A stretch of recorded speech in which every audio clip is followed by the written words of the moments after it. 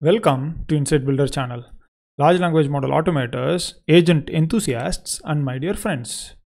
Can you tell me about LLM agents? Using Jinja 2 template and create prompts for agents. That's what we are going to discuss in this video. In the last video, we were uh, discussing on uh, creating a simple agent that we saw here and uh, we are going to move forward in this steps.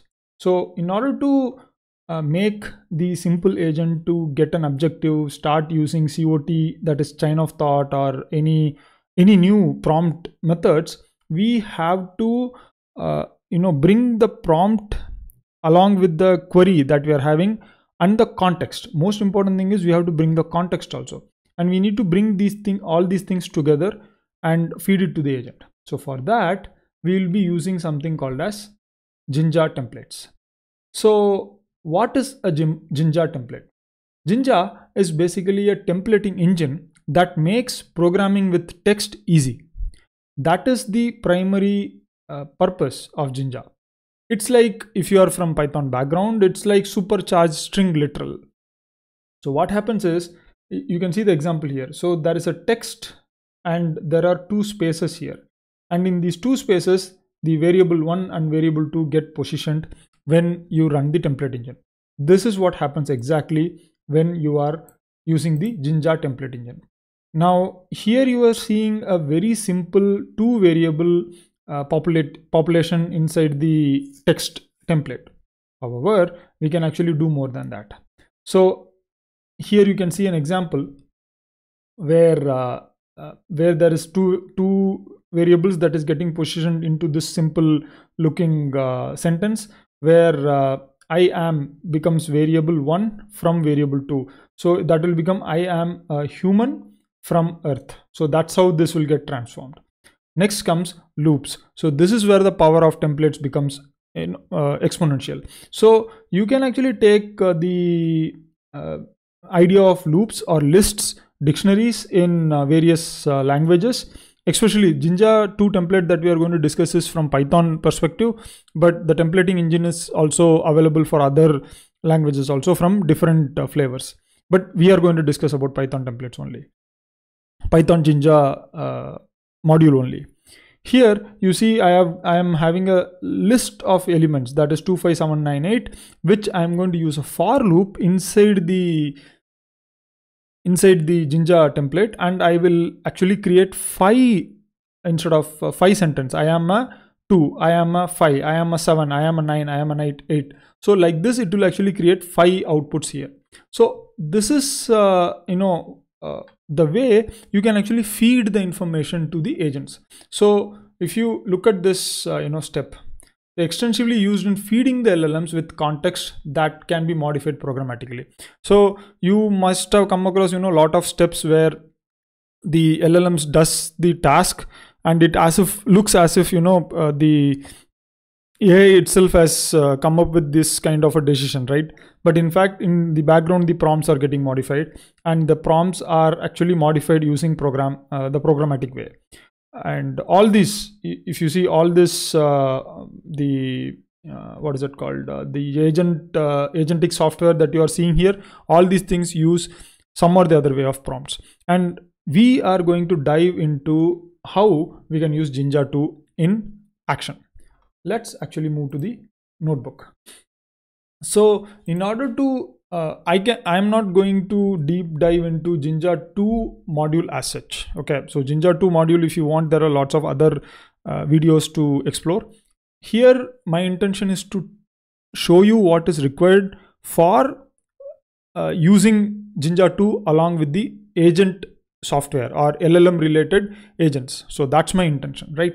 So for that, all you need is these four uh, uh, attribute, uh, these four uh, classes and uh, functions from Jinja 2. That's what you are uh, going to use. And then we are going to first of all create an environment. So the environment basically tells to the Jinja template engine that where the prompt templates will be. So as you saw here, there will be two parts. So there will be just a second. So there will be this prompt template and this prompt template will be inside a file and this file will be located somewhere in a folder right? Inside the uh, operating system. So the folder itself will become an environment in this uh, case. And uh, the files inside uh, the prompt files that is inside the folders will become individual uh, templates. So that's how it works. So you can have any number of templates and each template will have different different input variables. So let's actually go back. In our case the uh, prompts will be located under jinja underscore prompt folder let me show you that you can see in the left side of my VS Code window, you can see the exploring agents folder. This is inside the Python DE learners data GitHub repo. And you can, uh, if you go into the exploring agents folder, you will see Jinja underscore prompt folder. And on the same level of Jinja underscore prompt folder, I have this Jinja prompt notebook. So this notebook that you are seeing here. So it should be in the same level. If it is going to be in a different location, you need to give the complete path or else the templates will not get recognized. So inside the Jinja underscore prompt, you will see all this prompt templates. So what are these prompt templates? So let us open a simplest template that is spec underscore prompt. Yeah, it is actually a text file.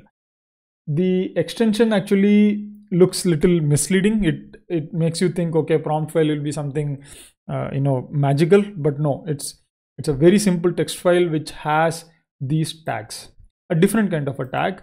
This is called as a Jinja tag. Uh, you, you, it will have a different name, but I'm going to call it Jinja tag. I'm going to close this. And you can see that this template is very similar to what I introduced here.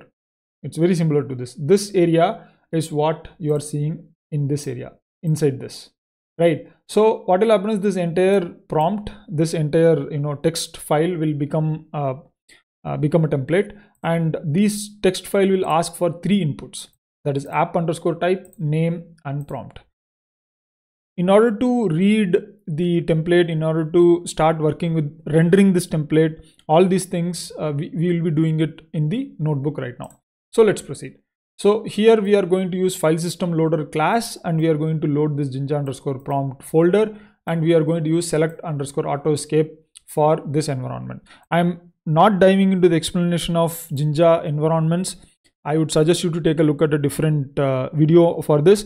My intention here is to primarily show you how the prompts are programmatically created and various tasks are achieved. So in the next video, we will see how the tasks are achieved. Let's proceed. Uh, here are a couple of uh, helper functions that I have created. In case of uh, in case of these templates, so I have uh, you know tried to uh, explore the Jinja modules and I have come across these various uh, methods. Uh, that is the get source will actually tell you how to get the variables. So there are variables inside this temp, prompt template that is app type, name and prompt. We will be needing this time to time if you are going to work with new prompt templates. So for that you can actually use this get required vars so function. And if you want to load and render the template, so if you want to give a context and if you want to load and render the template, then this is the function that you need to use. So what exactly happens in these cases, we will be seeing step by step right now.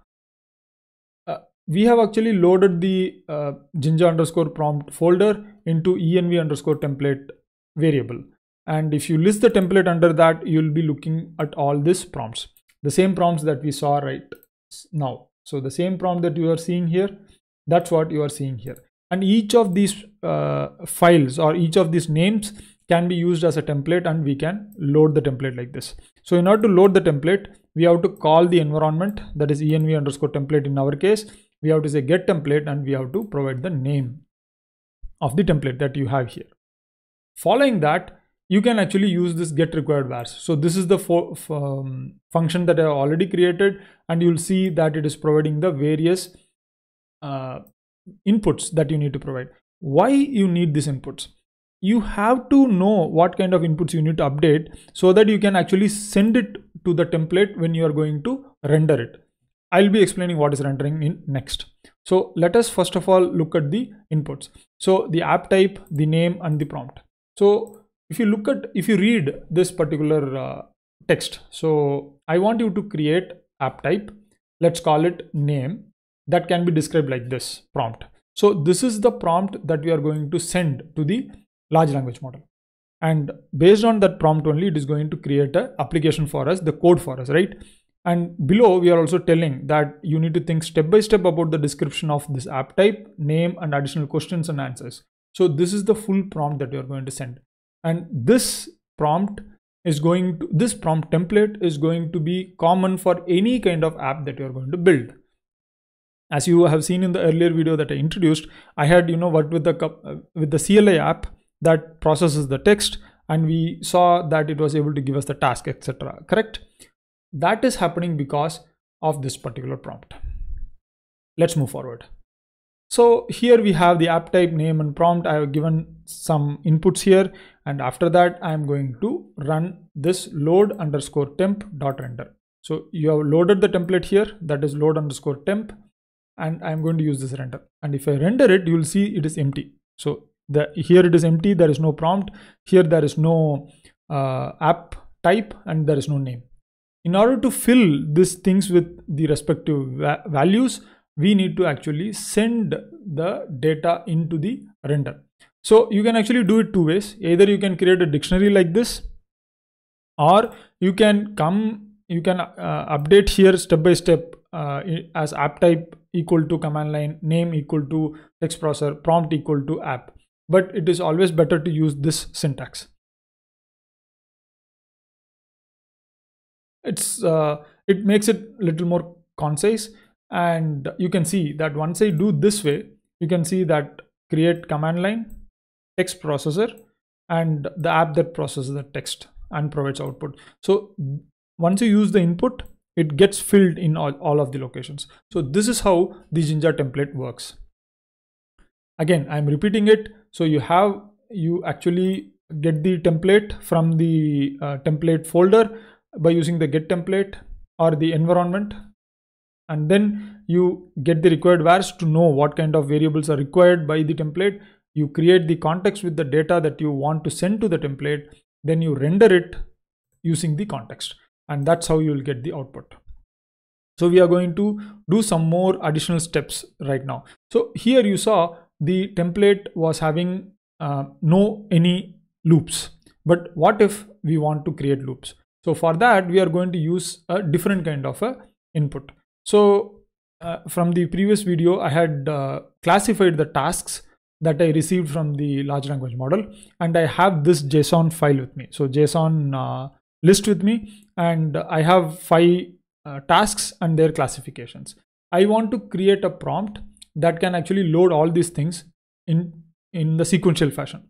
So for that, I'll be using this, I am showing this data analysis prompt here but it's better that I show it in the um, in the output yeah so this is the data analysis prompt and you can see that I'm creating the uh, prompt here. And here I'm telling that it's a for loop where I say payload in task list. So task list will be the input and I'm going to get the task from the payload and the task class from the payload and I'm going to end the for loop. So this is how I have created the prompt template. Let's go back. Just a minute and here i'm going to uh, get this template data analysis dot prompt. I'm just going to render it here and show it to you. And then if you get the required val uh, vars for this data analysis prompt you will see that it is question and task list. So it is the question here and the task list that we are using here. This is very important. So here i am actually running this uh, task enumerating this task list for each individual tasks. And I am going to extract individual elements in the task list sorry. And from the elements I'm going to extract the task and the task class. So this idea you can actually get it from this input. So each element of the task list will be this. And from each element I will be extracting the task and the task class. And then I'll be populating the uh, populating the entire uh, uh, prompt. And the same prompt. You see you are working in software development agency as data analyst and you'll see that I have right now have this task along with this uh, output the classification and the second task and the third task and the code execution. And finally I'm asking how many tasks are present above. So my question. So all these things. So the question is how many tasks are present and the task list is classified tasks and I'm only using three tasks here. So that's why you're seeing this. You can actually increase this and you can see, let me try to show you by increasing it to six and uh, let us see. I Okay, I think uh, the data is not, uh, the uh, class, uh, the cells are not executed. Just a second, let me execute the cells. Sorry about the delay. So now you can see that there are more number of tasks and finally i'm asking how many tasks are present above. So that is how the prompts get populated. And now you can visualize that how the entire prompt setup is getting worked right? Let us actually you know take one more example. So some uh, in uh, certain cases we might actually want the large language model to connect with the internet and start getting the information from the internet and use it as a context to provide our answer right. And for that we have various clients that is available right now. Like we have the Tavily client which i introduced in another one video. And also we have the bing client that you can use. The bing apis also you can use. Here what we are going to do is i am going to show you. So here i am not going to run these uh, uh, clients anyway. So if you have a question so if you have a question i can use this question and i can search it in the internet the search engines and I can try to get the feedback. This feedback, I can actually feed it back into the prompts. Okay, so one such prompt is what I have created here. So if you go into the agent Jinja prompt and if you go into code extraction prompt, so this is one such prompt. So I'm telling you are an ex expert coder and researcher and uh, you are approached by a program manager with a question.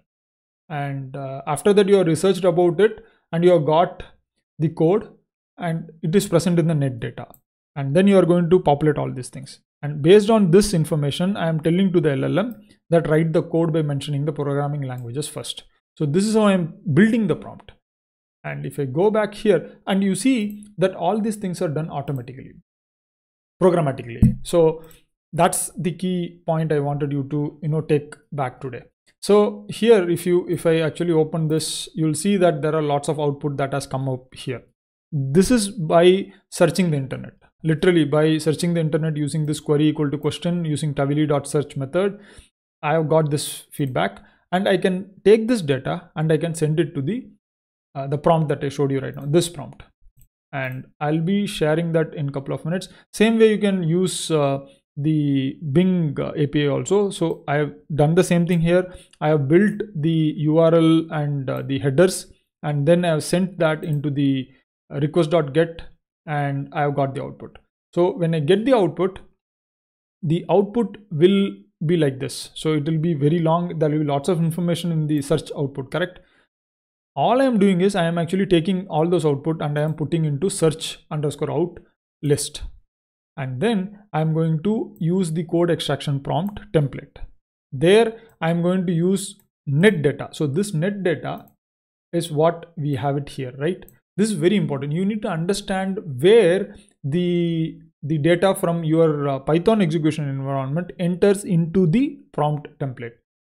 And then we have the question. So that question is pretty straightforward. And once i use this in context and render it you'll see that you are expert coder researcher and uh, split the text file with the list uh, uh, so this is the question. Split a text file with list of tasks that are separated with the uh, new line. So the new line character did not get shown here. So if you go up here, if you look at the question, I have actually placed a new line character here. So this I have to escape or else what will happen, it will, it will actually go as a, a new line character and you will not be able to see. So I have to escape this and using Python code. So that that's what you are seeing in the output here. So after this uh, slash n is there. So that's why they're using the Python code has come here. And all this are the search results, right?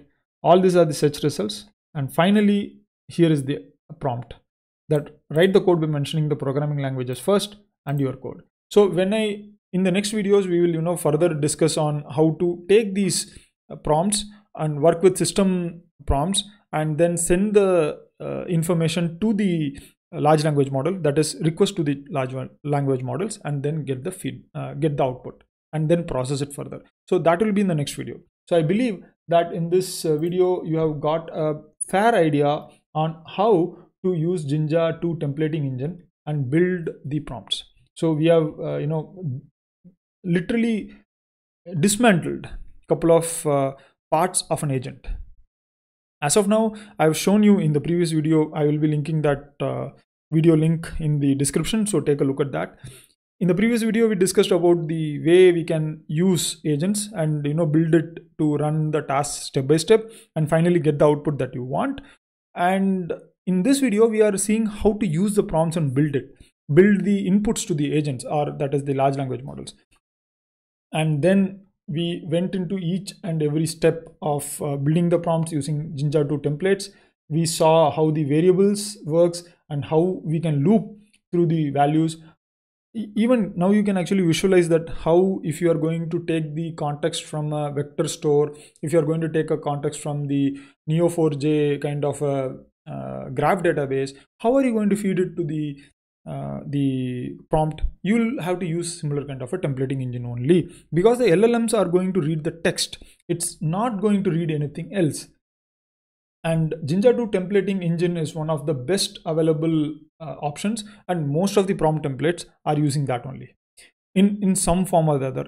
There is actually pydantic also but pydantic is used in a different way in order to control and validate the outputs but it's not for actually giving the input. So keep that in mind if you just got confused. I believe that you have got learned a thing or two from this uh, video so do leave a like and share it with others. Most importantly it's very uh, confusing these days because if you if you scroll down there are lots of uh, uh, AI based uh, agents that is getting uh, populated into this into our ecosystem. But most of the agents even if you try it they actually fail at one level or the other.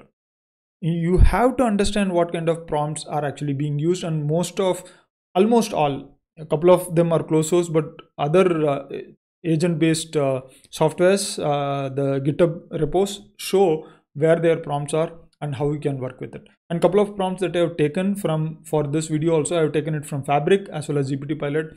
Uh, huge kudos and uh, shout out to these uh, teams who worked on these things. And Devika AI is one of the inspiration for this videos because the Devika AI uh, video, the GitHub repo is well coded meaning it's easy to understand uh, to dive into the uh, backend and uh, you know go through the process. So i got some ideas by reviewing this devika ai uh, code only. So huge shout out for that team also. With that said i would like to leave this video with four words that is keep exploring keep exploring. See you guys. Have a great time